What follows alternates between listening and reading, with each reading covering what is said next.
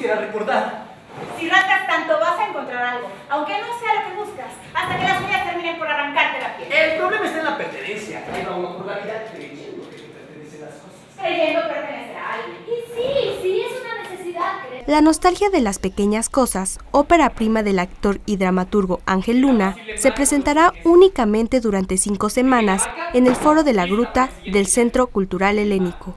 La obra, seleccionada para el Circuito Internacional de Joven Dirección y Dramaturgia México 2016, es una pieza para dos actores, dos actrices, un ukulele y arena de mar, en la que cuatro protagonistas disertan y elevan pensamientos profundos, filosóficos e interesantes sobre las pérdidas, aunque lo perdido nunca se haya poseído, desarrollando su historia a partir de la premisa de que la energía ni se crea ni se destruye, solo se transforma a través de las preguntas. Si tuviéramos la posibilidad de ir a un lugar en el que pudiéramos encontrar lo que perdemos, ¿nos sentiríamos mejor? ¿Sería más llevadero?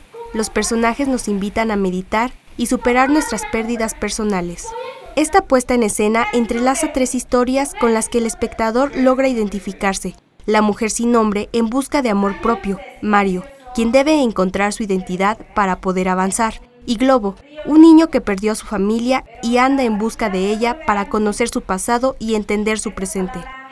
La nostalgia de las pequeñas cosas se presentará del 23 de junio al 22 de julio en el foro La Gruta del Centro Cultural Helénico. El amor siempre comienza.